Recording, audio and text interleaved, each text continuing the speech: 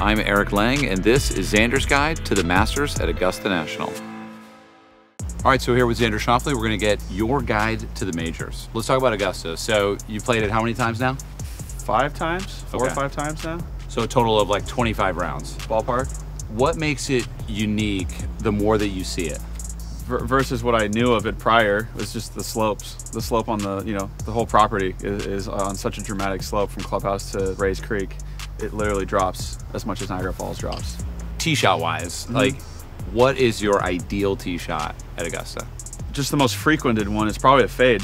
Yeah. It's weird because everyone talks about the need to hook the ball on property, but most of the time you actually hit a fade. Like one, you have to hit a fade. Two's a draw, obviously. yeah. but three's a fade. Four can be a fade. Seven's a fade. Eight's a fade. But then when you come into greens is is where it gets tricky. Augusta's a second shot golf course, so it's all about placing your ball on the green. Because the greens are so difficult, you have to be so good at your second shot on property. 10 and 13 are different tee shots to everything else. How do you feel on those tee boxes? What are you thinking?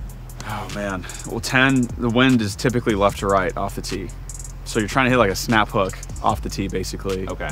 you're so elevated and once your ball gets around this corner you imagine like even if, if you're hitting this nice big old sling as soon as it kind of hits this wall it's like elevated and you just get smoked by the wind and then your ball just gets hung up on the right and it just doesn't come down. Okay. And so are you just thinking as much inside and as much close as possible? uh, yeah. If you use this tree as a reference it would kind of be you got this orange you just got so you have this like yellow flag that's just right of the tree. It'd be kind of like that. You need to start it like just at this yellow flag and then hug it which is basically it's really close to the tree. Or you can kind of start it way further right almost over this putting green. Um, and hit this big old sweep so yeah my feel is just very very inside to out Okay. i mean just get the thing get your hands working um, and really get this thing hooking so i mean that's the right shape. I'm obviously not warmed up, so that ball wasn't going super far, but like that would work there. Yeah. Because it was just like, as soon as you get this kind of like toey ball Yeah. that's tumbling and turning, it hits that hill and it just goes all the way down there. And then it's like you hit eight iron or seven iron in instead of like a three iron. Right.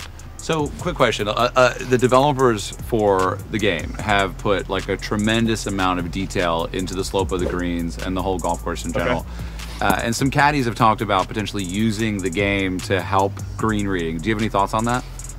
Augusta is a special place because we're, there's no tool or device or level that we're allowed to use on property. They have all the books and they have all the notes oh, and everything on it, but no one, no player has actually seen those books. So it's like a property that's never been mapped, which is kind of like the awe and the tradition of Augusta as well. It adds to it. So, of all the changes that are going to be new for this year, what are you kind of the most interested in? Just seeing the flow of the course, 15, you're way above, and you're trying to hit like a three wood in, Yeah. into and have it stop on a 15 yard surface basically, and Yeah. you don't know where the wind's coming from. From that perspective, it makes it really difficult. You know, things need to really go your way for you to hold that green. At Augusta specifically, what is like the trickiest shot that you're trying to master? Everyone talks about 12.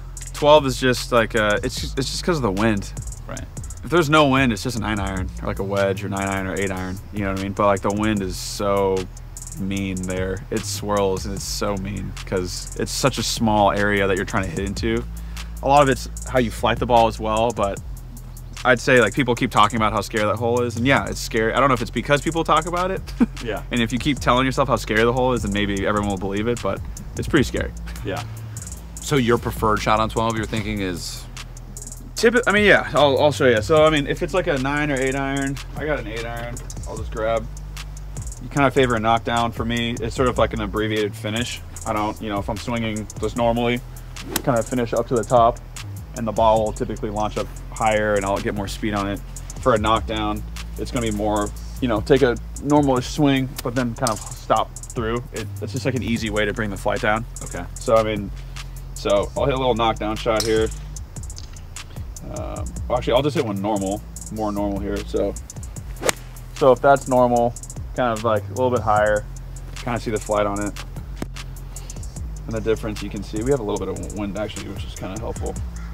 So now knock down maybe a hair further back. But I'm going to kind of abbreviate this fish and you should see a difference in how the ball comes out of it. Yeah. So you can see it's a much flatter window. Yeah. and you kind of have to like pick and choose your spots because if the wind switches or like goes across and you hit like a little flatter missile like that, I mean it'll literally go in the back bushes. Yeah. which I've done there as well. Favorite Masters memory? I got to do my like practice round, and my caddy and I went out there, and it was it was 40 degrees and it was hailing, and I still played. I played all 18 holes. Whoa. yeah, it was the worst weather I've ever golfed in, but we like we just I was like I'm here. Like I I've Yeah. been looking forward to this my entire life. Yeah, it was awesome.